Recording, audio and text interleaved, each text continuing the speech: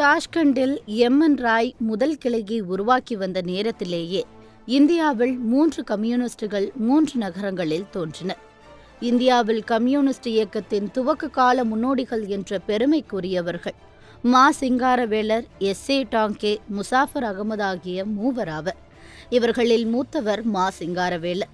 அவர் ஆயிரத்தி எண்ணூற்று அறுபதாம் ஆண்டில் சென்னையில் ஒரு வசதி படைத்த மீனவ குடும்பத்தில் பிறந்தார். அவர் லெனின் மற்றும் காந்தியை விட வயதில் மூத்தவர். ஆயிரத்தி எண்ணூற்று தொன்னூற்று நான்காம் ஆண்டில் இளங்கலை பட்டத்தை முடித்து பின்னர் வழக்கறிஞர் பட்டம் பெற்றார். ஆயிரத்து தொள்ளாயிரத்து ஏழாம் ஆண்டில் சென்னை உயர்நீதிமன்ற வழக்கறிஞரான தேசிய இயக்கத்தால் ஈர்க்கப்பட்ட அவர் தீவிரமான காங்கிரஸ் ஊழியரானார். ஆயிரத்து தொள்ளாயிரத்து பதினேழாம் ஆண்டின் ரஷ்ய புரட்சி அவர் மீது பெரும் தாக்கம் செலுத்தியது. லெனின் தலைமை குறித்தும் ரஷ்ய புரட்சியின் சாதனைகள் குறித்தும் கிடைத்த விவரங்கள் அனைத்தையும் படித்தார் அவற்றை சேகரித்தும் வைத்தார். அதைத் தொடர்ந்து இந்தியாவிற்குள் கொண்டு வரப்பட்ட மார்க்ஸ் ஏங்கல்ஸ் லெனின் நூல்களை படித்து மார்க்சியவாதியானார் ஆயிரத்து தொள்ளாயிரத்து பதினெட்டாம் ஆண்டில் அவரது நெருங்கிய தோழரும் தமிழறிஞரும் தேசபக்தருமான திருவி கல்யாண சுந்தரனார் சென்னை பின்னி மற்றும் கர்நாடிக் மில் தொழிலாளர்களுக்காக சென்னை தொழிலாளர் சங்கத்தை துவக்கினார். அவர் தன் நெருங்கிய நண்பர் சிங்காரவேலரும் அந்த சங்க கூட்டங்களுக்கு வந்து தனக்கு உதவி செய்ய வேண்டுமென கேட்டுக்கொண்டார். அதை ஏற்று சிங்காரவேலர் அந்த சங்கத்தின் செயல்பாடுகளில் தீவிர ஆர்வம் காட்டலானார். படிப்படியாக அந்த தொழிலாளர்களின் கூட்டங்களில் மார்க்சிய தத்துவம் குறித்து எளிமையாக விளக்கவும் ஆரம்பித்தார். உழைப்பு என்றால் என்ன? முதலாளி என்பவர் யார்? அவர் எவ்வாறு தொழிலாளிகளின் உழைப்பு சக்தியை கூலிக்கு வாங்கி அதிக லாபம் பெறுகிறார் என்பதையும் தொழிலாளிகள் எவ்வாறு ஒன்றுபட்டு அந்த முதலாளிகளுக்கு எதிராக போராட வேண்டும் என்பதை பற்றியும் மிக எளிய முறையில் அவர்களுக்கு விளக்கி கூறினார். அதே சமயத்தில் இந்த இரண்டு மில்களிலும் சுமார் பதினான்காயிரம் தொழிலாளர்கள் வேலை செய்து வந்தனர். தொழிலாளிகளின் ஊர்வலங்களிலும் அவர் பங்கெடுத்தார். ஆயிரத்து தொள்ளாயிரத்து இருபதாம் ஆண்டு டிசம்பர் பத்தாம் தேதியன்று. ஆங்கிலேய காவல்துறை பின்னிமில் தொழிலாளர் மீது துப்பாக்கி சூடு நடத்தி இரண்டு தொழிலாளிகளை கொன்றது. அவர்களின் அடக்க நிகழ்ச்சியின் போது அவர்கள் உடல்களை தூக்கி சென்றவர்களில் சிங்காரவேலரும் ஒருவராவர். அதன்பின் ஆயிரத்து தொள்ளாயிரத்து இருபத்தி ஒன்றாம் ஆண்டு ஆகஸ்ட் மாதம் இருபத்தி ஒன்பதாம் தேதியன்று காவல்துறையினர் நடத்திய மற்றொரு துப்பாக்கி சூட்டில் ஒரு பெண் உட்பட ஏழு பின்னிமில் தொழிலாளிகள் கொல்லப்பட்டனர் அவர்களின் இறுதி நிகழ்ச்சியில் கலந்து கொண்ட சிங்காரவேலர் அதை குறித்து ஒரு உருக்கமான கட்டுரை எழுதி பத்திரிகைகளுக்கு அனுப்பினார். சென்னையில் சிங்காரவேலர் இவ்வாறு மார்க்சிய பிரச்சாரம் செய்து வரும் காலத்தில் பம்பாயில் எஸ். ஏ. டாங்கே என்ற இளைஞரும் கல்கத்தாவில் முசாஃபர் அகமது என்ற இளைஞரும் மார்க்சியத்தால் ஈர்க்கப்பட்டு அந்த கருத்தை விளக்கி பிரச்சாரம் செய்ய ஆரம்பித்தனர். இவர்கள் மூவர்தான் இந்திய கம்யூனிஸ்ட் இயக்கத்தின் முன்னோடிகளாவர். ஏற்கனவே சொன்னபடி இந்தியாவில் கம்யூனிஸ்ட் இயக்கத்தை உருவாக்கும் பொறுப்பு அகிலத்தால் கொடுக்கப்பட்ட எம் என்றார். இப்பொழுது இவர்கள் மூவரையும் தொடர்பு கொண்டு ஒன்றிணைக்க ஆரம்பித்தார். சென்னையில் சிங்காரவேலர் மார்க்சிய தத்துவத்தை தொழிலாளிகளிடையே பரப்புவதற்காக தொழிலாளன் என்ற பத்திரிகையையும் லேபர் கிசான் கெஜட் என்ற பத்திரிகையையும் தொடங்கினார். ஆயிரத்து தொள்ளாயிரத்து இருபத்தி இரண்டாம் ஆண்டில் இன்றைய பீகார் மாநிலத்தில் உள்ள கயா நகரில் நடைபெற்ற காங்கிரஸ் கட்சியின் அகில இந்திய மாநாட்டில் அவர் தொழிலாளி வர்க்கத்தின் பிரச்சினைகளை எடுத்து கூறினார். அந்த மாநாட்டில் தொழிலாளர் குறித்து கொண்டுவரப்பட்ட தீர்மானத்தை வழிமொழிந்து அவர் எழுச்சிமிக்க உரையாற்றினார். உலக கம்யூனிஸ்டுகளின் சிறப்பிற்குரிய வரிசை முறையில் உலக நலனில் அக்கறை உள்ள மாபெரும் இயக்கத்தின் பிரதிநிதியாக இங்கு வந்துள்ளேன் என்ற அறிவிப்புடன் தன் உரையை தொடங்கிய சிங்காரவேலர் இந்திய முதலாளித்துவ வர்க்கத்தினருக்கு ஓர் எச்சரிக்கை விடுத்தார்.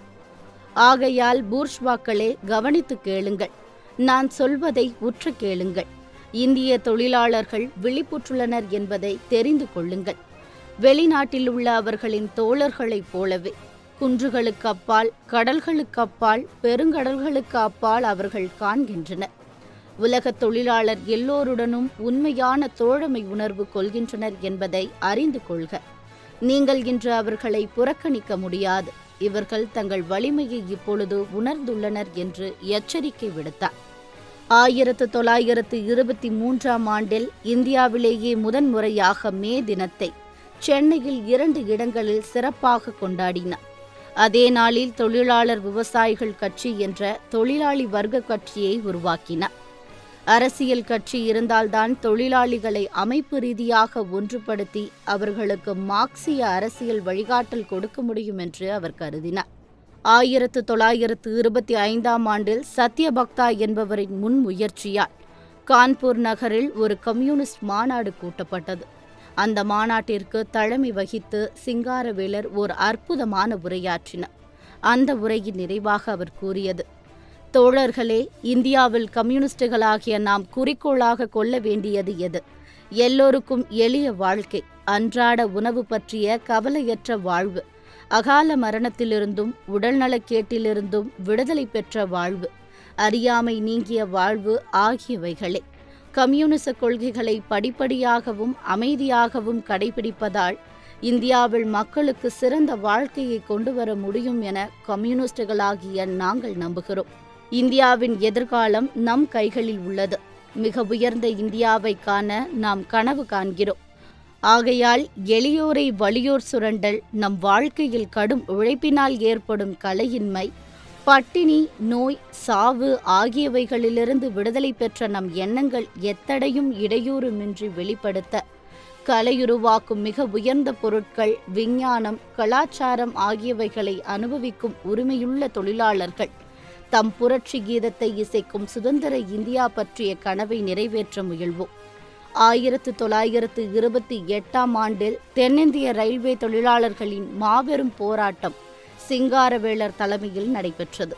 அது நாகப்பட்டினத்தில் இருந்த ரயில்வே தொழிற்சாலையை பொன்மலைக்கு மாற்றக்கூடாது என்ற கோரிக்கையிலிருந்து உருவானது. பல நாட்கள் ரயில் ஓடவில்லை. கடுமையான தடியடி சித்திரவதைகள் தொழிலாளிகள் மீது நடத்தப்பட்டன. ஆங்கிலேய அரசாங்கம் சிங்காரவேலரை கைது செய்து பத்தாண்டு சிறை தண்டனையை விதிக்க செய்தது. அது மேல்முறையீட்டில் இரண்டு ஆண்டுகளாக குறைந்தது. ஆயிரத்து தொள்ளாயிரத்து முப்பதாம் ஆண்டில் அவர் விடுதலையான போது அவருக்கு வயது எழுபது. அத்துடன் பக்கவாத நோய் ஏற்பட்டது. எனவே வெளியே சென்று செயல்பட முடியவில்லை. வீட்டிலிருந்தவாறே மார்க்சிய தத்துவம் பொருளாதாரம் அரசியல் சமூக சீர்திருத்தம் போன்றவை குறித்து ஏராளமான கட்டுரைகள் எழுதி வழிகாட்டினார். ஆயிரத்து தொள்ளாயிரத்து முப்பத்தி ஒன்றாம் ஆண்டு பெரியார் அவர்கள் ஓராண்டு உலக பயணம் மேற்கொண்ட பொழுது தான் வரும் வரை தனது பத்திரிகை குடியரசு ஏட்டிற்கு சிங்காரவேலர் கட்டுரைகள் எழுதி வழிகாட்ட வேண்டுமென கேட்டுக்கொண்டார். அதை ஏற்று சிங்காரவேலர் கடவுளும் பிரபஞ்சமும் கடவுள் என்ற பதமும் அதன் பயனும் மனிதனும் பிரபஞ்சமும் பிரபஞ்ச பிரச்சனைகள் மெஞ்ஞான முறையில் மூட நம்பிக்கைகள் மூட நம்பிக்கைகளின் கொடுமை பகுத்தறிவு என்றால் என்ன போன்ற அற்புதமான கட்டுரைகள் எழுதி உதவினார். இந்திய நாட்டில் உள்ள பெரும் சமூக பிரச்சனைகளான சாதி மதம் தீண்டாமை மற்றும் பெண் உரிமை இல்லாதிருத்தல் போன்ற பிரச்சனைகளை அவர் மார்க்சிய பார்வையிலிருந்து விளக்கினார். தீண்டாமை பற்றி குறிப்பிடும்போது சிங்காரவேலர் அதை மார்க்சிய அடிப்படையில் ஆராய்ந்து இந்தியாவில் அடிப்படையான சமூக மாற்றமின்றி அதாவது பொருளாதார மாற்றமின்றி தீண்டாமை ஒழியாது என்பதை சுட்டிக்காட்டினார். அவர் கடைசியாக ஆயிரத்து தொள்ளாயிரத்து நாற்பத்தி ஐந்தாம் ஆண்டு ஜூன் மாதம் இருபத்தி நான்காம் தேதி அன்று சென்னை அச்சு தொழிலாளர் மாநாட்டில் பேசினார். எனக்கு வயது எண்பத்தி நான்கு. ஆயினும் தொழிலாளி வர்க்கத்திற்கு என் கடமையை செய்ய நான் இங்கே வந்துள்ளேன். உங்கள் மத்தியில் நான் இறந்தாலும் அதைவிட எனக்கு கிடைக்கக்கூடிய பாக்கியம் வேறென்ன?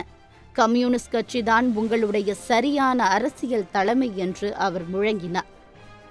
இந்திய கம்யூனிஸ்ட் இயக்கத்தின் முதல் பெரும் தலைவரும் மார்க்சிய அறிஞருமான சிங்காரவேலர் ஆயிரத்து தொள்ளாயிரத்து நாற்பத்தி ஆறாம் ஆண்டு பிப்ரவரி பதினொன்றாம் தேதி சென்னையில் காலமானார் தான் மரணமடைவதற்கு முன் தன் வாழ்நாள் முழுவதும் சிரமப்பட்டு சேர்த்து வைத்திருந்த பத்தாயிரம் அரிய புத்தகங்கள் கொண்ட நூலகத்தை கம்யூனிஸ்ட் கட்சிக்கு அவர் அன்பளிப்பாக கொடுத்தார்.